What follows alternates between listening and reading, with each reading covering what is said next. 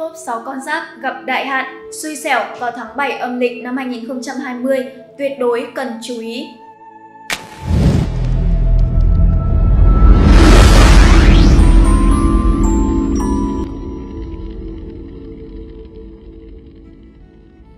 Kênh Phong thủy Sa Cát xin kính chào quý vị.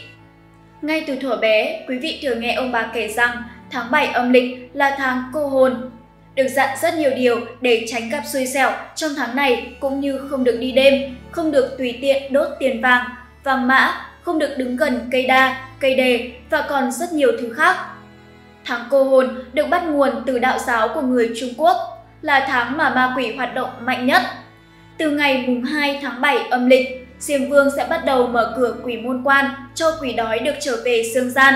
Vào khoảng thời gian này, người dương nên cúng cháo, gạo, để quỷ đói không nhung nhiễu và quấy phá cuộc sống của mình. Ngày 15 tháng 7 được coi là quỷ lễ, âm khí nặng nhất. Vì thế, nhiều nơi quan niệm rằng trong đêm rằm tháng 7, tốt nhất không nên đi ra ngoài vào ban đêm, tránh bị quỷ vây hãm. Một số địa phương khác lại cho rằng không nên đi tới những nơi chứa nhiều nước như biển, ao hồ, không cẩn thận sẽ bị quỷ dìm chết hoặc tránh nói ra những lời lăng mạ ma quỷ kẻo rước họa vào thân. Để tránh bị đen đủi trong tháng này, mọi người thường phải kiêng cữ rất nhiều. Đặc biệt, trong năm 2020, những con giáp sau đây nên cẩn thận nhiều hơn để tháng cô hồn không bị nhiều tai ương và trắc trở. Trước khi nghe kênh Phong thủy Gia Cát chia sẻ thông tin thì quý anh chị và các bạn hãy like và đăng ký kênh để có thể biết thêm những thông tin bổ ích khác đến từ kênh của chúng tôi. Còn bây giờ, xin mời quý anh chị và các bạn cùng đi tìm hiểu nội dung chi tiết. Đầu tiên là tuổi Sửu tuổi Sửu nằm trong số những con giáp dễ gặp xui xẻo trong nửa cuối tháng cô hồn. Xung quanh người tuổi Sửu có rất nhiều tiểu nhân trực chờ sâu xé.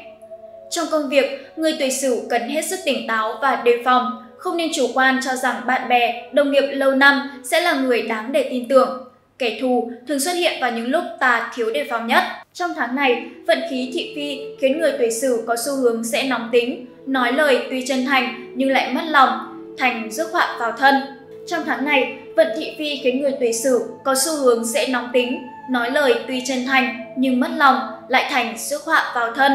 Bởi vậy, qua rằm tháng 7 âm lịch, những người tuổi sửu không nên ra ngoài vào buổi tối sẽ gặp chuyện không may. Tuổi Tý Trong tháng cô hồn, thu nhập của những người tuổi Tý không hề khá hơn trước, nhưng các khoản chi lại ồ ạt kéo đến, khiến túi tiền của bản mệnh chẳng mấy chốc mà cạn kiệt. Tuy nhiên, điều này vẫn chưa phải là điều xấu nhất đối với tuổi Tý trong tháng cô hồn. Bởi trong khoảng thời gian này, tuổi Tý sẽ gặp phải họa tiểu nhân trong mọi khía cạnh của cuộc sống, đặc biệt là trong chuyện tình cảm. Những người độc thân vẫn trung thành với cái mác FA đã đành thì chuyện tình cảm của các cặp đôi tuổi Tý cũng gặp phải trục trặc, dễ bị kẻ thứ ba chen ngang. Nam giới tuổi Tý sẽ bị lung lạc tinh thần, bạn bè lôi kéo rủ dê tới nơi tử sắc mà đánh mất tình cảm chân thật Ngoài ra, họa tiểu nhân cũng có thể khiến con giáp này mù quáng vì tình cảm mà đưa ra những quyết định sai lầm liên quan tới tài chính. Tuổi dậu Tuổi dậu cũng là một trong những con giáp cần đặc biệt cẩn trọng trong tháng cô hồn. Theo tử vi, những chú gà trong tháng 7 âm lịch này cần tỉnh táo hơn khi làm những việc liên quan đến tiền. Điển hình như gặp gỡ, kết giao với đối tác kinh doanh. Đây không phải là tháng phù hợp để con giáp này tiến hành những kế hoạch hay dự án lớn. Không được cát tinh soi chiếu thiếu đi may mắn lại gặp phải sự ngáng đường của kẻ tiểu nhân nên tuổi dậu khá chật vật trong tháng cô hồn. Bản mệnh đôi khi cũng đánh giá bản thân mình quá cao, tự mình đưa mình vào thất bại. Lời khuyên cho con giáp này là hãy biết khiêm tốn, ông trời sẽ không phụ lòng những người biết phấn đấu. Nhưng kẻ tiểu nhân sẽ phải tự khuất phục trước thành công của bản mệnh, hay khiến họ phải nhận ra rằng thành công của những chú gà là hoàn toàn xứng đáng một điều nữa, tuổi dậu nhớ nhập tâm là không được dễ dàng đặt lòng tin vào người khác, nhẹ dạ cả tin có thể dẫn đến tiền mất tật mang. Tuổi hợi, bước qua rằm tháng 7 âm lịch, bản mệnh của người tuổi hợi không tốt, cơ thể suy yếu sẽ bị nhiễm tà khí khiến tình hình sức khỏe trở nên tệ hơn. Quý nhân chưa thấy xuất hiện mà tiểu nhân đã trực chờ gây sự xung quanh. Trong tháng này, tuổi hợi sẽ bị người khác hãm hại và chơi xấu. Trong công việc, bản mệnh nên tự mình gánh vác, không nên tin tưởng vào người ngoài quá nhiều, sẽ rước họa vào thân. Chưa kể, họ còn dễ gặp điều không tốt lành trong chuyện tình cảm. Sự rối loạn của tháng cô hồn khiến tình yêu và hôn nhân của những người sinh năm hợi có xu hướng xảy ra bất đồng và mâu thuẫn. Tuổi mão Người tuổi mão có bản mệnh không được tốt lắm trong tháng cô hồn. Sức khỏe là vấn đề bạn cần lưu tâm nhất. Những triệu chứng bệnh nhỏ như hát hơi, sổ mũi thông thường cũng có thể khiến tình trạng sức khỏe của bạn trở nên nghiêm trọng. Bạn đừng quá chủ quan với cơ thể của mình. Khi thấy trong người không được khỏe, hãy đến bác sĩ khám, chứ không được uống thuốc linh tinh. Như vậy, bệnh sẽ càng ngày càng lâu khỏi.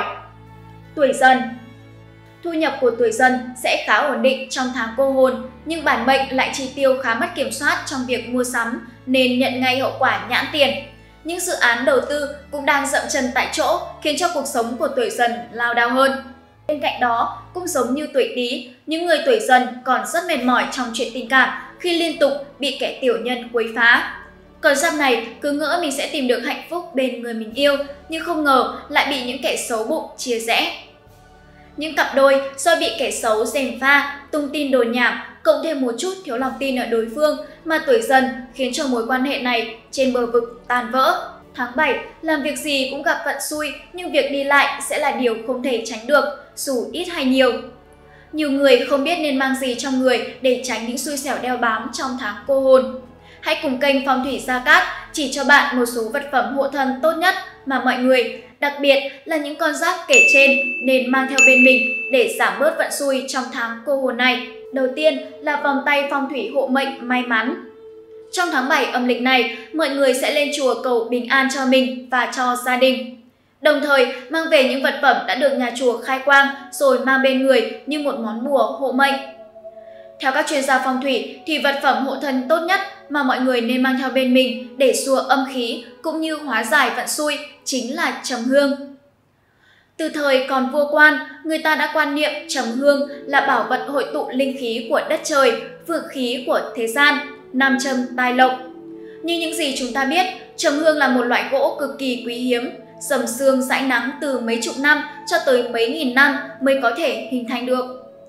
Nếu là một chiếc vòng được tạo ra từ trầm thật thì nó sẽ sở hữu màu gỗ đặc trưng cùng nhiều vân lõm. Nếu là một chiếc vòng được tạo ra từ trầm thật thì nó sẽ sở hữu màu gỗ đặc trưng, có nhiều đường đen với quá trình tích tụ tinh dầu tạo trầm mà có được. Chính vì nó đã song hành cùng trời đất, hấp thụ tinh hoa cũng như vượng khí từ thiên nhiên nên mang nhiều công dụng rất tuyệt vời như tránh bị bóng đè, tránh gặp ác mộng, tránh bị côn trùng đốt, chữa được khá nhiều bệnh.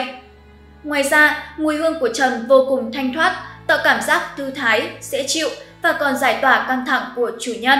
Muối trắng Theo như quan niệm của dân gian thì muối có thể xua đuổi quỷ dữ, tà ma, nên trong mâm lễ cúng, người ta thường chuẩn bị một đĩa muối gạo. Sau đó, khi cúng xong, muối sẽ được dùng để rắc xung quanh nhà để xua đuổi tà ma. Đồng thời, còn có thêm một ý nghĩa thiêng liêng, đó chính là muối có vị mặn, sẽ thể hiện được sự đoàn kết, khăng khít của tất cả mọi thành viên trong gia đình. Còn một cách giải xui với muối, đó chính là bạn bốc trong nắm tay của mình một nắm muối rồi ném qua vai trái. Tuyệt đối không được nhầm lẫn ném qua vai phải, vì như vậy vận xui sẽ tăng thêm. Đậu xanh Theo quan niệm dân gian, nam nên mang 7 hạt, nữ 9 hạt đậu xanh để trong một cái túi gấm hoặc túi vải. Điều này giúp bạn có thể tránh những điều xui xẻo, tiểu nhân hãm hại trong tháng cô hồn. Túi đậu xanh sẽ giúp bạn xua đuổi năng lượng xấu và mang điều tốt lành đến cho bản thân. Nếu mang theo bên người khi đi ra ngoài, bạn sẽ cảm thấy rất yên tâm và không sợ bất cứ ai hãm hại. Bật lửa Lửa theo quan niệm xưa tượng trưng cho sự ấm no và hạnh phúc, sức sống tràn trề. Nhiều người có quan niệm mang bật lửa theo mình sẽ có nhiều may mắn, tiền bạc đầy túi, thịnh vượng hơn rất nhiều. Họ cũng luôn có cảm giác an tâm vì bên cạnh mình luôn có sức nóng lan tỏa. Tháng 7 âm lịch được coi là tháng có nhiều âm khí, lạnh nên có thể mang theo bật lửa cũng là điều nên làm để tránh được khí hàn. Sức khỏe sẽ tốt hơn, giúp xua đuổi được những điều đen đủi. Gạo nếp Gạo nếp tượng trưng cho sự sung túc, ấm no và an lành. Theo quan niệm dân gian, đến tháng 7 âm lịch, nếu muốn bản thân được an yên và bình tâm hơn, nên mang theo ít gạo nếp bên mình. Gói thành gói nhỏ, bỏ vào ví bạn sẽ tránh được sự xui xẻo và không còn sợ khí hàn khi ra ngoài vào buổi tối. Gạo nếp cũng giúp cho cuộc sống của bạn trong tháng này ấm no, tiền bạc dồi dào, làm ăn phát đạt. Quý anh chị và các bạn thân mến, mọi chuyện trên đời xảy ra đều có nguyên do và không ai có thể biết trước được ngày mai và tương lai sẽ như thế nào. Do đó, thay vì mãi lo lắng khi nào vận xui ập đến, thì chúng ta nên đi làm việc thiện, quyên góp, đi chùa, tránh sát sinh hoặc san sẻ cho những người kém may mắn, cứu giúp những số phận bất hạnh thì tự nhiên điều lành sẽ tìm tới. Và kiêng cứ được điều gì thì cứ kiêng, vì ông cha ta vẫn nói có thờ có thiêng, có kiêng có lành.